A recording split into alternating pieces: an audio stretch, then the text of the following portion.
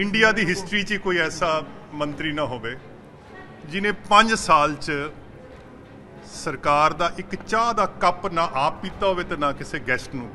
ਸਰਕਾਰ ਜਿਹੜੀ ਹੈ, ਇਹ ਆਪਦੀ ਖੁਦ ਪਸੰਦੀ ਦੇ ਵਿੱਚ ਇੰਨੀ ਫਸੀ ਹੋਈ ਹੈ ਕਿ ਇਹਨਾਂ ਨੂੰ ਆਪਣੇ ਨੱਕ ਤੋਂ ਅੱਗੇ ਦੀਦਾ ਨਹੀਂ। ਕੱਲਾ ਗੱਲਾਂ ਦਾ ਜਮਾ ਖਰਚਾ ਹੈ।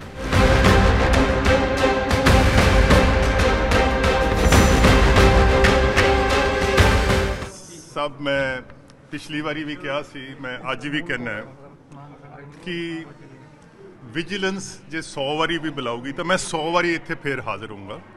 ਕਿਉਂਕਿ ਜਿਹੜੇ ਬੰਦੇ ਪਬਲਿਕ ਸਰਵਿਸ 'ਚ ਹੁੰਦੇ ਆ, ਉਹਨਾਂ ਨੂੰ ਜਿਹੜਾ ਆਪਣਾ ਸਾਫ਼ ਤੇ ਸ਼ਫਾਫ ਤੇ ਉਹਨਾਂ ਦੀ ਜਿਹੜੀ ਇੱਕ ਕਿਸਮ ਦੀ ਐਕਸਪਲੇਨੇਸ਼ਨ ਜ਼ਰੂਰ ਹੋਣੀ ਚਾਹੀਦੀ ਹੈ। ਪਰ ਪ੍ਰੋਸੀਕਿਊਸ਼ਨ ਤਾਂ ਮੈਂ ਮੰਨਦਾ ਹੋਣੀ ਚਾਹੀਦੀ ਹੈ, ਪਰ ਇੱਕ ਅੰਗਰੇਜ਼ੀ ਦਾ ਲਫ਼ਜ਼ ਹੈ ਪਰਸੀਕਿਊਸ਼ਨ ਪਰਸੀਕਿਊਸ਼ਨ ਦਾ ਮਤਲਬ ਹੈ ਕਿ ਕਿਸੇ ਤੇ ਤਸ਼ੱਦਦ ਕਰਨਾ, ਕਿਸੇ ਤੇ ਕੋਈ ਝੂਠਾ ਕੇਸ ਬਣਾ ਦੇਣਾ। ਮਨਪ੍ਰੀਤ ਤੇ ਜਿਹੜਾ ਕੇਸ ਬਣਿਆ, ਇਹ ਜ਼ਾਤੀ ਤੇ ਸਿਆਸੀ ਰੰਜਿਸ਼ ਦੀ ਬੁਨਿਆਦ ਤੇ ਇਹ ਕੇਸ ਬਣਿਆ। ਔਰ ਵਿਜੀਲੈਂਸ ਮਹਿਕਮਾ ਜਿਹੜਾ ਹੈ, ਇਹ ਸਰਕਾਰ ਜਿਹੜੀ ਹੈ, ਇਹ ਆਪਣੀ ਸਿਆਸਤ ਜਿਹੜੀ ਹੈ ਚਲਾਉਣ ਵਾਸਤੇ ਇਹਨੂੰ ਯੂਜ਼ ਕਰ ਰਹੀ ਹੈ। ਵਰਨਾ ਤੁਸੀਂ ਪੱਤਰਕਾਰ ਹੋ ਔਰ ਮੇਰੇ ਸ਼ਹਿਰ ਦੇ ਹੋ। ਮੈਂ 5 ਸਾਲ ਪੰਜਾਬ 'ਚ ਖਜ਼ਾਨੇ ਦਾ ਮੰਤਰੀ ਰਿਹਾ।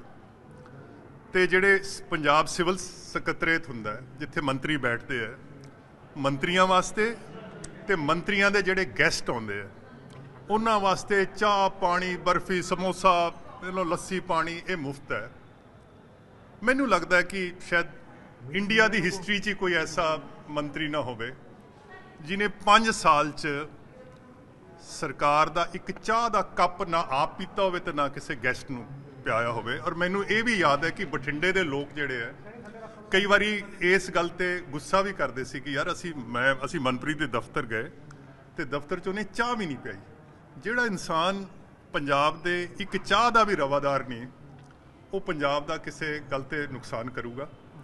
ਦਰਅਸਲ ਸਰਕਾਰ ਜਿਹੜੀ ਹੈ, ਇਹ ਆਪਦੀ ਖੁਦ ਪਸੰਦੀ ਦੇ ਵਿੱਚ ਇੰਨੀ ਫਸੀ ਹੋਈ ਹੈ ਕਿ ਇਹਨਾਂ ਨੂੰ ਆਪਣੇ ਨੱਕ ਤੋਂ ਅੱਗੇ ਦੀਦਾ ਨਹੀਂ।